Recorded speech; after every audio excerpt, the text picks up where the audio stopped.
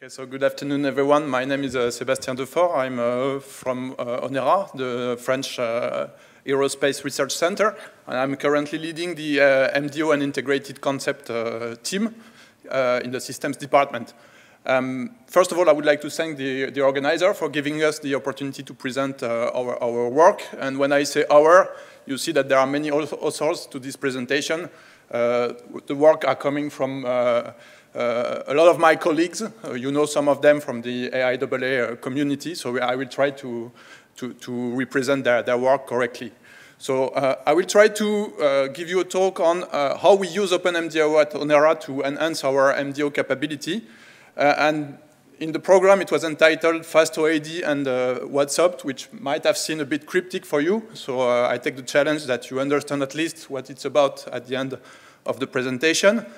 And I will uh, first give a, a, bit of context of what we are doing in MDO at ONERA, then a focus on our conceptual aircraft design tool, FastOAD, based on OpenMDAO, uh, a complementary uh, focus on some um, advanced method that we develop using OpenMDAO, and a final uh, focus on the WhatsOpt web application, which is used to generate uh, MDO code.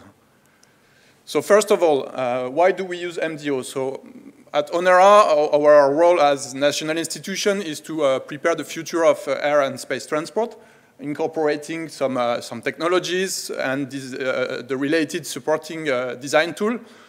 Some examples given here in the field of uh, air transport are, of course, the goal of lowering the, the environmental footprint with several different airframe concepts, such, such as blended wing body or strut-braced wing, or propulsion integration, such as BLI or uh, distributed electric uh, propulsion. we also have activities in the uh, reusable space transport, uh, the study of reusable launcher, different types uh, of it. So these are complex vehicles, new vehicles, for which we need multidisciplinary approaches to do so. So how do we do that at, at ONERA? Um, we have several departments specialized in different disciplines able to define various fidelity parametric models. And we want to tackle the compromise between the level of fidelity and the exploration capability that we have.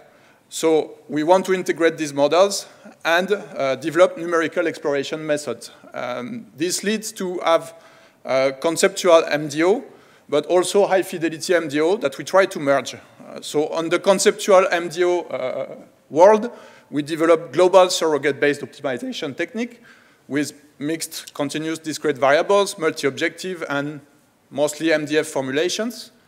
Our colleagues from aerodynamics and structure are developing uh, adaptive meshing, efficient solvers, couple adjoint methods, and Bliss-like, sometimes, formulation. And to go for mixing both, we need some adaptive DOE, some multi-fidelity surrogate model, and advanced formulation with uh, a concern about uncertainty quantification. So for that, uh, at each uh, time, a framework is needed. So for long, we have uh, had some reflections about the framework. And in the early ages of uh, our work, namely before 2015, we tried to assess a lot of various off-the-shelf uh, things. You have an example of the Phoenix Integration Model Center that we widely used at some, at some time, but also MATLAB scripts. Even uh, doing MDO with Excel was uh, possible at some time. Uh, but uh, of course, we identified the limitations and the main needs that we would like to have something open source to be shared by all the partners. Uh, we would like uh, possible custom adaptation, standardized interface, and so on. And at some point, we made the choice not to develop our own environment, and to go for OpenMDAO, as you folks were doing that much better than we would have done. So after that, uh, all of our developments were uh, side developments around OpenMDAO to meet some specific needs. For example, to tailor application-specific process, that will be the example of FastOAD, to use um, use cases for publication and teaching, that will be the second part of examples I, will describe, and to help the uh, process architect through code generation, which will be one of the purpose of the WhatsOpt application. So first of all, talking about conceptual aircraft design. Um, conceptual aircraft design, uh, what are the needs for uh, exploring new concept of uh, aircraft? We need to assemble different disciplinary modules in a consistent uh, parametric process, able to size a given aircraft upon top-level requirements such as range, Pax number, etc. You have the example of the disciplines involved, for example, on the blend and wing body design. And for years, on this application of blend and wing body, we have uh, defined some OpenMDAO component for all the disciplines and a very specific tailored process uh, to that, assembling all the uh, OpenMDAO modules. But um, we needed something uh, a bit more uh, generic and more flexible to, to do a variety of concepts. And at some point, we decided to launch the development of the FastOAD uh, conceptual design framework. So this is uh, an open source framework. You can find it on, uh, on GitHub. It is jointly developed by Onera and the Isae SUPAERO uh, Engineering School. It is, uh, as I will describe, based on OpenMDAO, and it automates the MDA, MDA and MDO for overall aircraft design uh, studies, concept evaluation, optimization. So basically, you have the XDSM representation. It includes a set of conceptual design models for uh, geometry, weight estimation, handling quality, aerodynamics, propulsion decks, performance computation here. And we want to reach modularity, which means that we can replace each model or submodel by higher fidelity or uh, specific needs of a given concept. So more insight on uh, how it works, this uh, FastOAD. It's based on the library principle. So um, we define our FastOAD uh, model, and each model is a standard MDA, OpenMDAO component with some additional uh, identifier which declares it at a FastOAD, as a FastOAD uh, component. And uh, we have developed currently two open source libraries of modules, one for the A320-like aircraft, it's a short medium range uh, aircraft, and one for general aviation. And they are both uh, also available. You can get these, uh, these libraries. Once we have the libraries, then all the modules are assembled through a configuration file that defines the multidisciplinary analysis. Um, you can get the modules if you have them on, the, on your own computers uh, from, the, from the folders, or you can install uh, the modules that are available uh, on the open source distributions. And then uh, the modules and submodules are called uh, through their identifier here to uh, do the OpenMDAO problem. So the OpenMDAO problem is automatically generated while with connecting uh, the variables of the problem. For example, here, if you have discipline one uh, output, which is named E, it will automatically connect to uh, the input of discipline two, which is also named E. So it is based on a st standardization of the names at the beginning, and it generates the OpenMDAO problem, and also the input files with the independent variables, and the output files with all the variables of the problem. So it also comes with some uh, pre- and post-processing tools uh, based mostly on Jupyter uh, notebooks. Uh, so you have, for example, the capability to, uh, to input the different variables to post-process geometry, weight, and trajectory characteristics of, uh, of the aircraft. So some example of results that we could obtain with FastOAD. it's, it's used, it has been used in the recent years for many applications. So one example is the um, optimization, uh, mixed variable global optimization of an hybrid electric uh, transport aircraft. So in that case, um, we had a lot of uh, discrete variables describing the architecture, number of motors, number of electric cores, number of generators, cables, location, etc. And we wanted to perform the optimization. And we used the in-house SEGOMOE uh, optimizer uh, that performed well to find the uh, optimum. And this is a paper for one of our PhD students, Paul uh, Save. And I don't know if I have the right to, to, tell it, but we've been officially notified of that. It, he, will be awarded the um, Best Paper Award AIAA 2022. So you might have the opportunity to talk with Paul at uh, next uh, SciTech uh, if you want more details on the, on the work. Another example is that we use FastOAD to, to design a um, strut-braced wing hydrogen aircraft, so very conceptual work, but the modularity and flexibility of the conceptual uh, aircraft design tool enable to compare several types with or without strut braced, with or without hydrogen, kerosene, and compare the figures of merit of this kind of aircraft. So that's for the um, conceptual aircraft uh, FastOAD part. Then, a kind of intermediate with three examples of uh, other uses of, uh, of, of OpenMDAO in our uh, work. Uh, the first one is uh, the use of OpenMDAO applied to UAV design. We have currently a PhD student uh, working at Onera and ENAC uh, who is uh, developing a tail-seater vehicle which was specifically designed for the uh, International Micro-Air Vehicle Conference. So you have an example of the, the UAV and its trajectory. And it's using an MDO process originally with aerodynamics and structure consists uh, defined with OpenAeroStruct, uh, weights and performance module, and another propulsion module that was added. And apparently MDO works because the, the, the, the UAV won the competition at, uh, at IMAV. So uh, that's a proof that we can design real things with uh, MDO. And uh, Luis has the intention to enrich the work using Dymos uh, to uh, traject for trajectory optimization and control feasibility in the, in the future steps. So we will do um, an extensive use of uh, OpenMDAO capabilities here.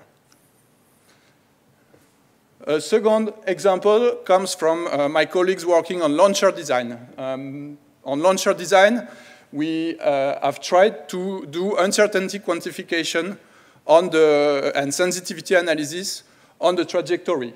So the goal was to use uh, Dymos for, uh, in a framework coupling an all-at-once formulation, which is described on the, on the figure. It means that uh, we feed directly the trajectory with all the, the, disciplines. And on top of that, we define some uncertain parameter, and we want to know the figure, the, the sensitivity of the trajectory to these, uh, per, to these uh, uncertain parameters.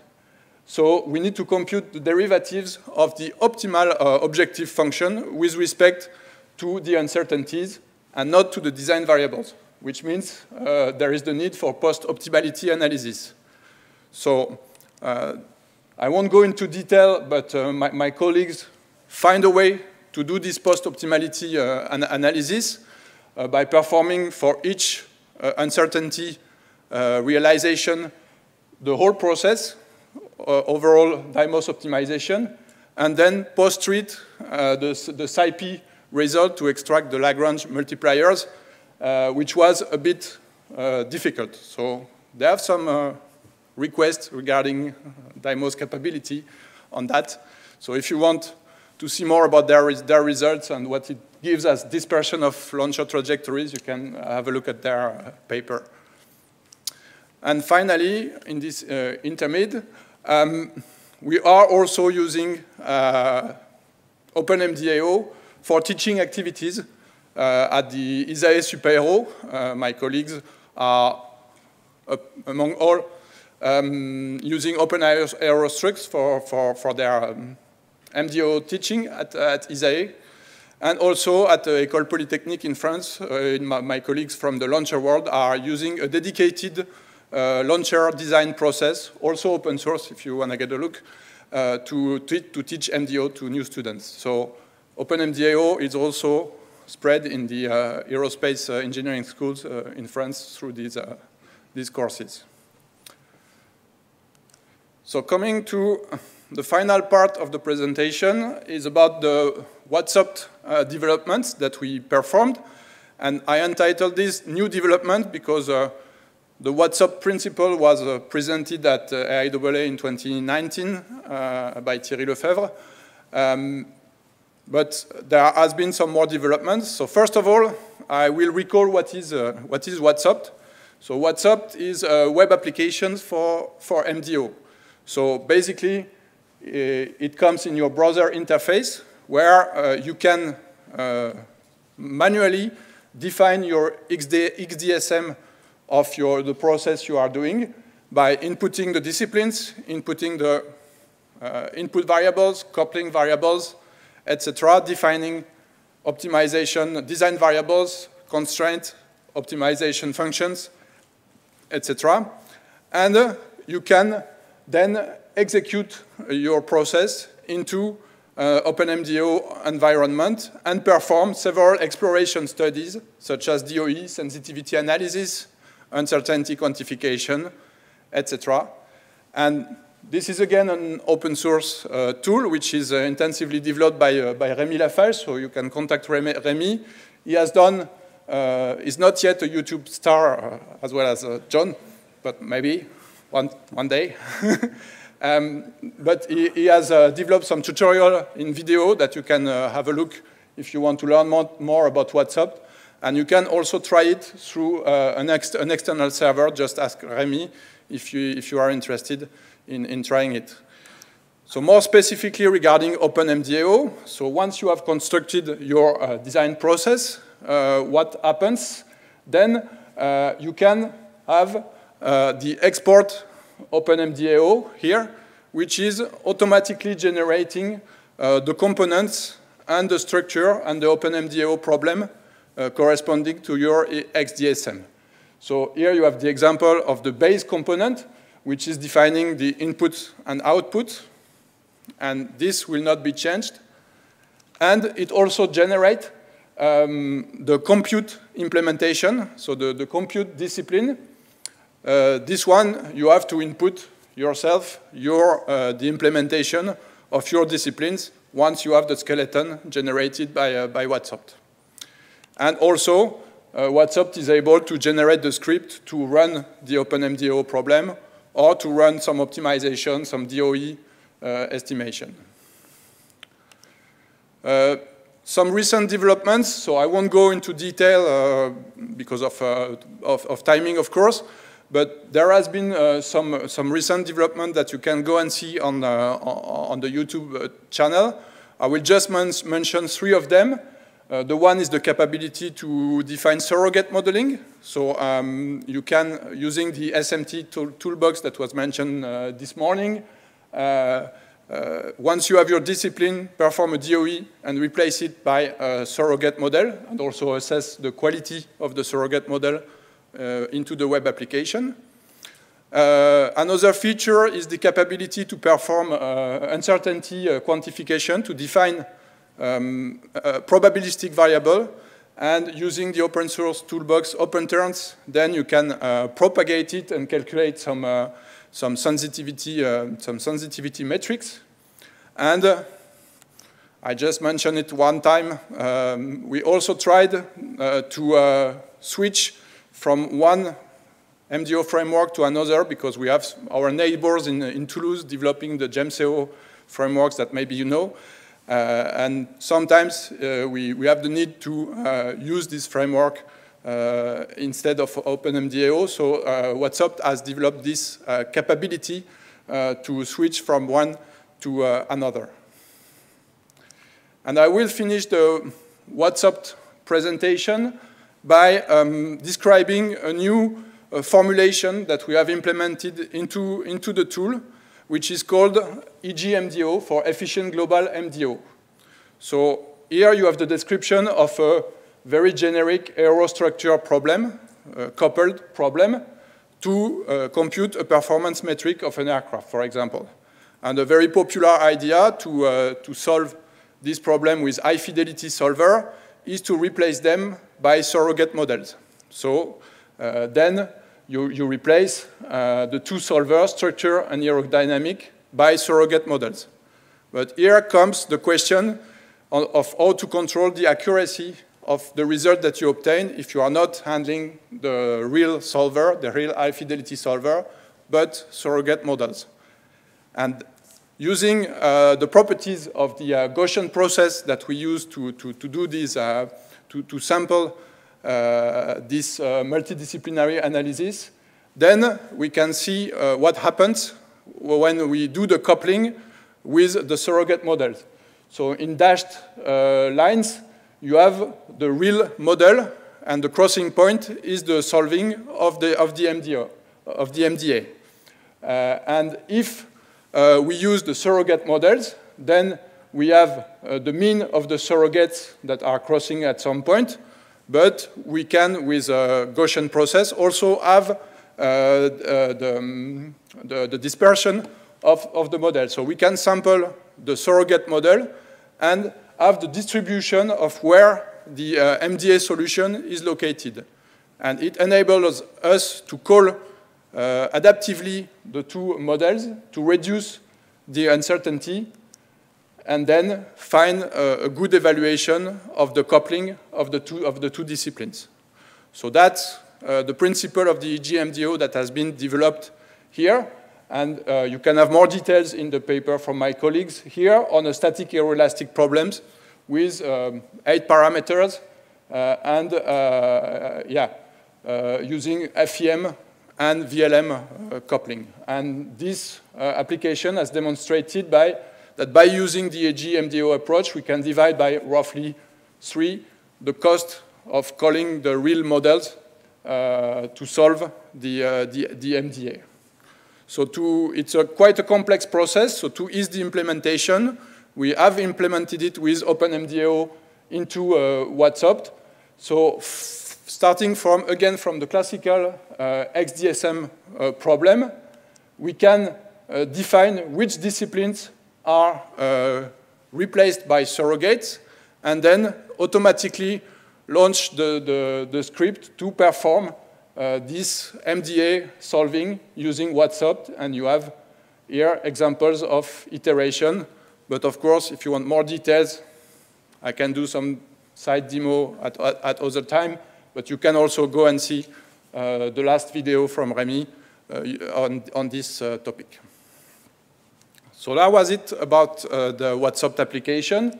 So coming to my conclusion, uh, as you can see, uh, OpenMDAO has become uh, quite a daily tool at Onera. It's present in all our studies, all our design process, and used as reference for um, documented test cases, teaching, etc.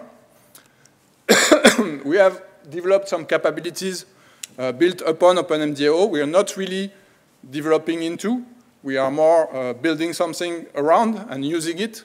Uh, and of course, uh, it's available to the community and we, we, are happy to get feedback if you are, happen to use it. And um, we have some future steps because we feel that with that, we still a bit underexploit the capabilities of uh, OpenMDAO. For example, uh, currently, we do not make a very extensive use uh, of implementation of derivatives in all components because uh, we are gathering some historical components that not always bring these, uh, these capabilities. So it's, it's a way of, of, of improvement. We want to go for higher fidelity. Our colleagues from aerodynamics and structural department are not yet fully integrating their tools within OpenMDAO, and we would like to uh, collaborate more intricately uh, with them. And we have a strong activity in the deployment of uncertainty quantification approaches within this, uh, this process. So final thoughts uh, about OpenMDAO. So as you've seen, we are using it uh, a lot. So we will continue and maintain and further develop our process. So um, one important thing for us is uh, backward compatibility. Uh, when uh, things happen to change, uh, at least being informed of that, but uh, I think the, the, the, current process is, is, really, um, is really robust for that because of the big changes that recently occurred have been well announced and enabled us to, to adapt our, our tools. Uh, and there is always good support from the, from the development team, what we appreciate a lot. Um, the second axis will be the, the UQ uh, design context. Um, so currently, uh, there's no type of probabilistic variables in OpenMDAO, so we're wondering if it um, may be a, a possibility to, to, to have it, the possibility to describe a variable with some distribution and uh, specific methods to handle that. Uh, and I already mentioned the post-optimal analysis as a, maybe a new functionality that could be very useful for our optimization and uh, sensitivity analysis. And with that, if you have any questions, there is a probability that I cannot answer, but I can divert the question also to my colleagues. Excellent. Thank you so much, Thanks. Sebastian.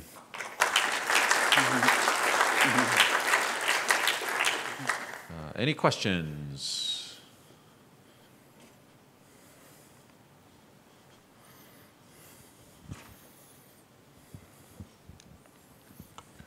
Hi, Sebastian. Uh, really nice presentation and overview of the work you've done. Um, it's really nice to see all the applications of OpenMDAO there because it seems like it wasn't too long when I was uh, at SUPAERO with John Hwang and we started a tutorial with OpenAeroStruct and then SUPAERO really took that and yeah, it has been uh, spreading yeah, a lot. Yeah. It's amazing. So well, yeah, very nice work. Um, uh, my specific question is on, um, and also I remember Justin went there, and Justin doesn't take many international trips, so you know, yeah, that, that was very honored that to have just for the first uh, European workshop. Yeah, high value interaction there. Yeah. Um, yeah. So I do have a question though. It's uh, the surrogate models. Um, how many coupled coupling variables do you have there um, between the aeron structures? Hey, hey. good question. And how many um, can you handle? Yeah. Um, so uh, cur currently, um, of course, if you are if you are using um, if you are using only Kriging models, you cannot go to very high dimension. Uh, and here, uh, I give me a number. Give me a number. 10, 100. well, it could it would have been 10 if we stick to Kriging uh, model, but I I did not describe everything. So in the in the paper, you will see that instead of using Kriging, uh, we are we are using uh, proper orthogonal decomposition uh, to model the fields, uh, to, to model the fields. And we are actually interpolating with Kriging the coefficients of the proper orthogonal decomposition, which enable to, um, to couple a, a larger, um, yeah, large, larger size of, uh, of coupling variables but only with a limited uh, variable of, of, Kriging, uh, of Kriging models. Um, so I, I, I, will ask, I don't, I don't have the, yeah. The, so bottom line, the number of variables, I'm guessing half a dozen once you do the POD? Well, yeah, but the POD is like an expansion out to the full field. Well, the, the, the yeah, POD, you, you can transfer all, basically all the field, or the, the, the aerodynamic field to the structural solver uh, once you once you have uh, uh, right. interpolated. But you have you have interpolation errors. But, um, but sure. But bottom line, again, back to my question: How many coupling variables do you end up with? So how many variables, input variables, can you have on those surrogates? That's my question. Well, I understand that you're reducing the number, but to how many? More yeah. or less. Uh, I, I, I, have to check. I have to check. Uh, but uh, as if we talk about the the, um, the, the pod coefficient, the proper the pod coefficients, right. it's it's less than five or six. Yeah, yeah, that's probably. Right. Okay, yeah, but, got it. Thanks. Mm -hmm. Any other questions?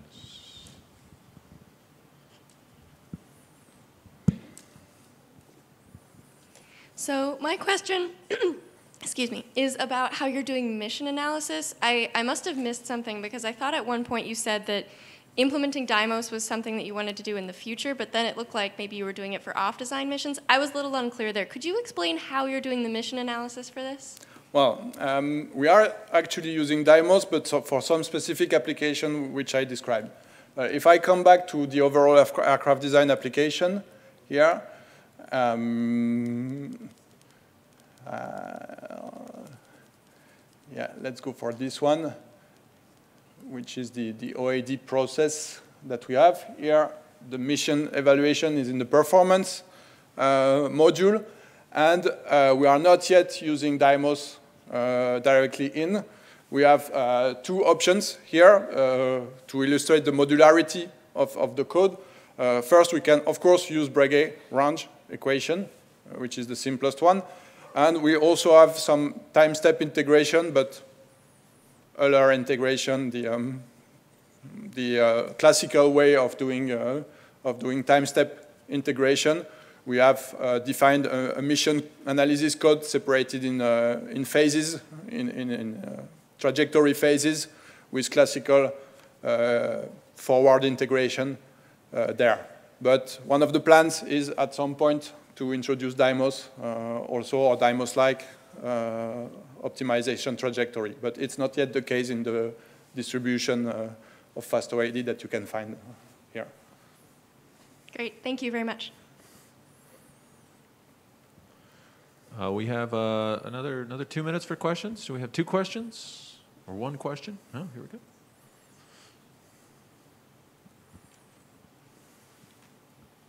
Uh, on your last slide, you mentioned using probability distributions as design variables. Yeah. Uh, could you elaborate on that? Especially, I guess my question is like, what would the derivatives mean in that case? Yeah, that's that's probably one uh, one question. Um, I'm not the most qualified to to to, to answer. Um, my colleagues uh, um, Loic and Mathieu um, might probably be better at this. Um, about, about, derivatives, um, well, I, I, don't know exactly, but the the the first problem is that uh, uh, solving an MDO problem with, uh, with a probabilistic uh, variable is not the same because you have fuzzy coupling. So how, how, do you define the satisfaction of coupling? so we had some reflections on, on that. and usually the usual way is to to, to, consider each uh, uncertainty realization as uh, just one MDO problem uh, to solve, but it can be, it can be very, very costly. Um, I do not, do not have any specific idea. Maybe we can discuss further um, here uh, on, the, on the derivatives, uh, what it would imply uh, on, on the derivative if we introduce that type of variable in OpenMDAO, but that's uh, certainly one thing to, to, to, be worked out. Sorry to, uh, not, not, to be able to, to go deeper on that direction. Okay, thank you. Um, you, you mentioned you had two execution options. One is using OpenMDAO, another one is doing using Gemseo. When do you switch between these two, uh, or what, what do you use? Why would you uh, use one over the other?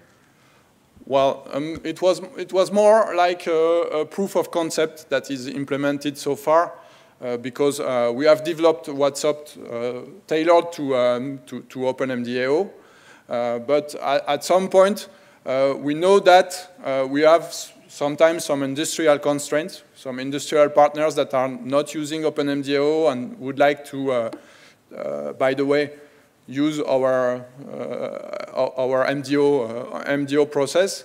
And we wanted to know if we were able to export all what we have developed in OpenMDAO at some point in another framework, if we need to without redoing all the implementation effort that we have done for, for OpenMDAO. So that was kind of a proof of concept for that. The, the, the goal is to, to, yeah, to study the, the, the, robustness of the code generation approach to another API, another, uh, another type of, uh, of, of framework.